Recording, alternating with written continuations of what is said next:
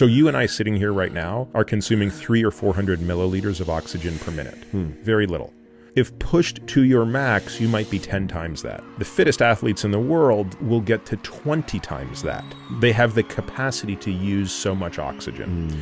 So that's what the VO2 max test is. It is measuring your maximum consumption of oxygen. The higher that level, the longer you're going to live. There is no number, there is no biomarker, there's no finding in all of biology that is more predictive of a person's length of life than that specific hmm. number. And the question is why? And I believe the reason is VO2 max is such a potent integrator for what you have to do to have that number. You aren't born with that number being high.